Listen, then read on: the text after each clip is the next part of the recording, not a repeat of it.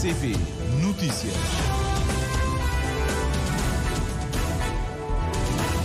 Estimado amigo ouvinte da Rádio de Cabo Verde, boa noite, já são 19 horas. Seja bem-vindo ao Jornal da Noite da Rádio de Cabo Verde. Vamos conhecer os títulos dos principais assuntos a serem abordados. Governo inicia formalmente o processo de privatização da Cabo Verde Handling. Dentro de 30 dias deve ser conhecido o parceiro estratégico escolhido pelo Governo. O NTCC assiste o Executivo a divulgar o conteúdo do novo decreto-lei que o Executivo diz colmatar a situação de milhares de trabalhadores com vínculo precário na função pública. Guias de turismo de Santo Antão alertam que o problema dos transportes está a afetar o setor na ilha, com a diminuição do número de turistas que visitam a Ilha das Montanhas. OMS alerta sobre a rápida propagação do sarampo em todo o mundo, com um aumento de 79% num ano. Estados Unidos da América vetam um projeto de resolução que exigia um cessar-fogo humanitário imediato em Gaza, proposto pela Argélia.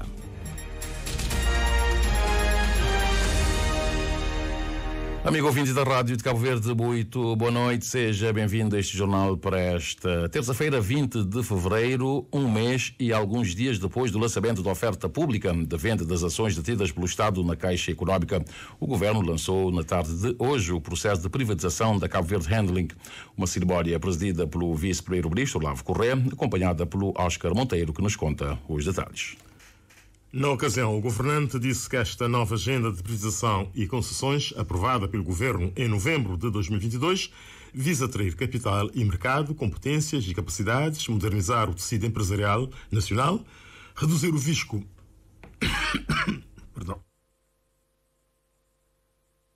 É preferível então recomeçarmos, Oscar. Exatamente. Na ocasião, Olavo Correia disse que esta nova agenda de privatização e concessões aprovada pelo governo em novembro de 2022 visa atrair capital e mercado, competências e capacidades, modernizar o tecido empresarial nacional, reduzir o risco fiscal das empresas do setor empresarial do Estado, reduzir a participação do Estado enquanto agente econômico e dinamizar o mercado de capitais. Mas as explicações ficaram pelo coordenador da Unidade de Acompanhamento do Setor Empresarial do Estado. Sandney Fernandes avançou que os prováveis concorrentes terão de respeitar as regras definidas na lei, em que um dos pontos fundamentais é o know-how no setor. Está tudo definido na, na lei, no quadro legal. É, portanto, o que nós apresentamos aqui, a nível de, de ser um parceiro estratégico com a, que seja titulado do certificado da, operação uh, neste setor, da assistência em escala, os anos de experiência, uh, depois o número de passageiros assistidos nos últimos anos são parte dos critérios definidos no quadro legal publicado no, no, BO e no portal do Ministério das Finanças, sendo, portanto, de conhecimento de todos, ou seja, estamos a arrancar este processo com as cartas todas na mesa para avaliação, quer por parte da sociedade, como por parte dos potenciais concorrentes.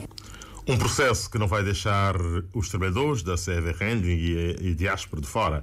O coordenador da Unidade de Acompanhamento do Setor Empresarial do Estado explica as vantagens para os interessados nacionais. É um valor fixo. Eh, nós, eh, do valor que ficar agora concluído nesta fase com o parceiro estratégico, aos trabalhadores e aos imigrantes pode ter aqui uma possibilidade de conceder um desconto de até 15% do valor uh, por ação. O valor fixo, depois uh, os trabalhadores imigrantes estarão a fazer, portanto, as suas subscrições através da Bolsa de Valores em função da quantidade. E caso a procura exceder a quantidade em oferta, nós teremos a fazer um processo de rateio para garantir que todos aqueles que venham a subscrever as ações consigam haver portanto, uma determinada quantidade subscrita, mas o, o mercado tem regras eh, claras. Por exemplo, agora neste momento, se consultar o prospecto associado à oferta pública de venda das ações da Caixa, encontra um capítulo específico sobre eh, o rateio.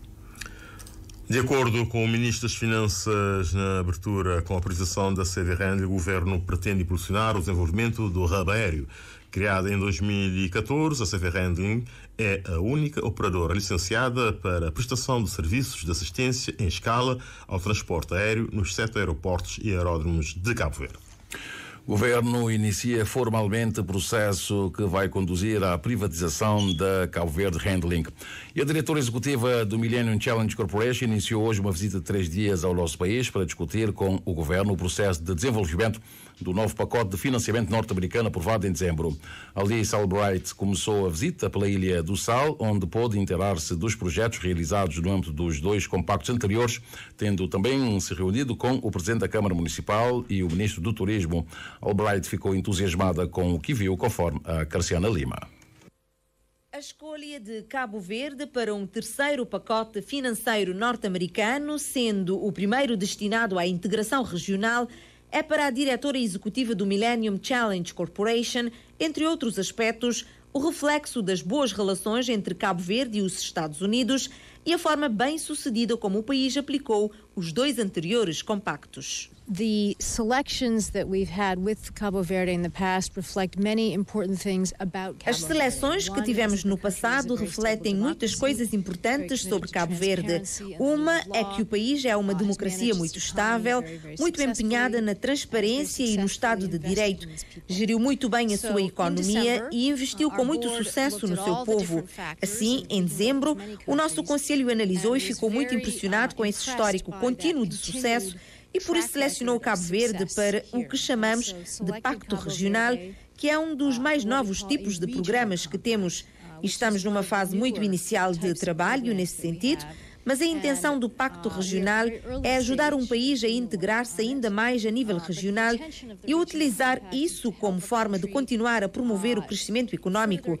Portanto, o objetivo desta viagem, além de ver alguns dos maravilhosos trabalhos que já fizemos com o governo, é reunir-nos novamente e conversar sobre como avançar no Pacto Regional.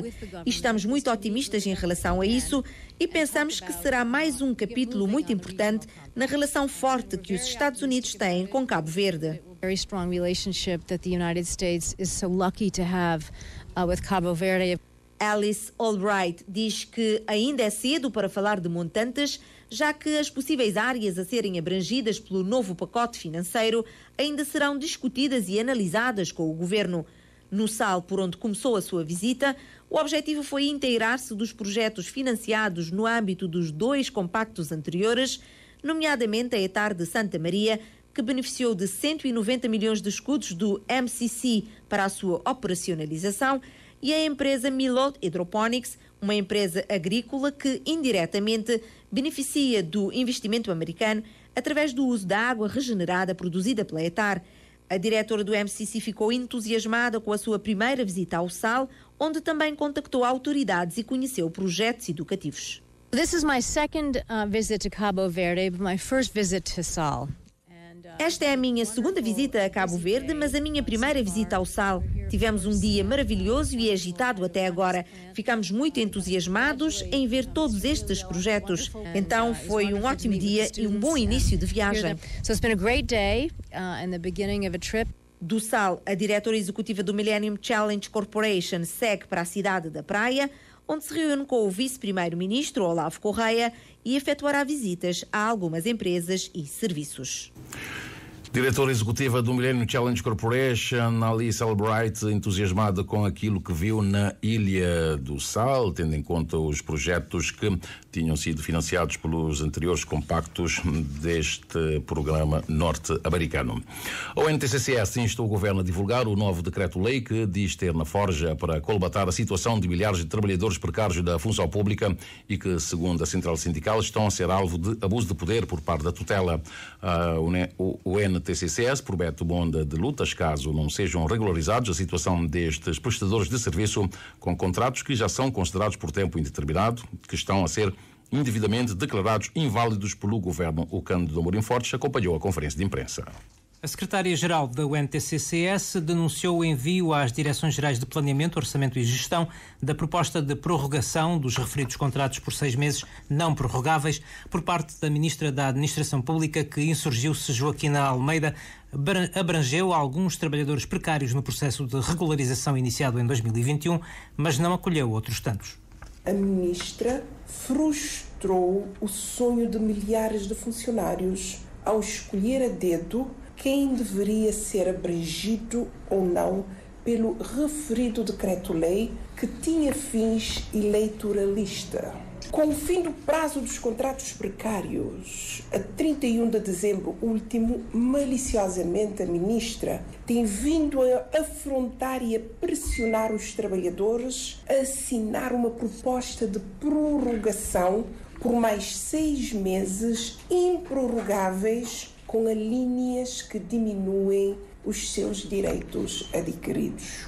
Foi a própria ministra quem enviou aos DGPOCs a minuta de prorrogação, obrigando-os a adotá-la, deixando bem claro que os referidos contratos dos trabalhadores já não são válidos, o que é redondamente falso, uma vez que os trabalhadores que têm 10, 15 e 20 anos de serviço, com contratos de prestação de serviço, os mesmos são considerados por tempo indeterminado. Joaquim Almeida revela que a tutela já avançou estar a preparar uma nova lei para colmatar os precários, mas prefere ver para crer e ameaça com lutas caso o problema não se resolva imediatamente. Avança exemplos de discriminação no processo e que a proposta de prorrogação dos contratos em seis meses está ferida de ilegalidade viola o princípio da não retroatividade da lei, denunciamos o abuso do poder da ministra, que usa sua posição para impor condições intimidatórias aos seus subordinados. Instamos os trabalhadores a não assinar a proposta de prorrogação e exigimos a resolução imediata dos problemas dos precários, sob pena de se iniciar uma frente de luta sem tréguas. Citamos o Ministério das Finanças, de um total de 162 precários que requereram a regularização do vínculo, apenas 39 foram abrangidos. Em resposta à nossa denúncia, a ministra assevera que está na forja um novo decreto-lei que visa colmatar os precários na função pública. Queremos ver para acreditar. A secretária-geral da UNTCCS diz ainda que o governo assinou no final do ano passado de 2023 um acordo com a Organização Internacional do Trabalho, denominado Cabo Verde, país promotor de trabalho digno e, no entanto, pratica precariedade laboral. E alguns guias de turismo de Santo Antão alertam que o problema dos transportes está a afetar o setor do turismo da ilha. Estes profissionais defendem que os sucessivos cancelamentos de voos têm diminuído o número de turistas que visitam Santo Antão e chamam a atenção do governo, mais uma vez, para a situação que consideram ser preocupante. A Teresa Pinto tem os detalhes. Odeir Gomes é guia de turismo aqui em Santo Antão e é um dos profissionais que tem se sentido lesado pelo problema de transporte em Tarilhas. Defende que esse constrangimento é uma das maiores preocupações da classe nessa época alta do turismo. No Testote tem alguma dificuldade de deslocação de muitos turistas, principalmente no turismo internacional que não depender também do aeroporto de São Vicente, que é para chegar uh, uh, na Santo Antão e depois através de barcos. Mas aquilo que não tem tido, não tem, que não tem, que não tem tido nos, últimos, nos últimos dias, ou nos últimos tempos, é cancelamento de voos, é atrasos, é, é, é mudanças de horário de forma repentina. Portanto, existe uma gestão que, que, que dita alinhar com aquilo que é uh, uh, os objetivos do turismo nesse país. Portanto, e, e Santo Antão está a ser prejudicado e consideravelmente. Odair Gomes defende que a situação dos transportes na ilha tornou-se num caos e alerta para a diminuição do número de turistas que visitam Santo Antão devido a esse problema. E assim nós vivemos um, um autêntico caos nos transportes nesse país. E Santo Antão tem sido, uh, tem sido com dinâmica muito interessante uma evolução positiva no turismo, botar no pleno mês de fevereiro não tem, não tem, não tem essa, essa diminuição considerável de, de, de, turismo. Se não bem, tem, se não bem continuar com, essa, com, essa, com os problemas de transporte, não te bem, não bem matar o turismo na, na, na Ilha de Santo Antão e, quem em, em todo o país. Vitorino Monteiro é igualmente guia de turismo e defende que a situação é de veras preocupante. No entanto, no seu entender, as autoridades e os próprios representantes do povo não têm notado o impacto negativo do problema dos transportes no turismo em Santo Antão. Nós na Santo Antão não temos que viver de promessas. Promessas, promessas, promessas. Enquanto não vive nessa situação e assim, é claro que problemas de debate acumular e sem uma solução à vista. Que isso também é espiar. Não tem próprios representantes do povo. Em vez de, exprimir para fazer um estudo ou de resolver problema de população, escutar a população para saber quais que, que as prioridades. Mas não, este fica conta tanto passageiro, empresa tal já transportar, tanto passageiro, empresa tal já trazer para Cabo Verde, mas nunca este contato tão tempo que já foi lesado. Os guias alertam então as autoridades para o problema e pedem uma solução urgente para salvar o turismo na ilha. E por falar em transportes, temos neste momento um aparelho da Best Fly a aterrar em São Vicente.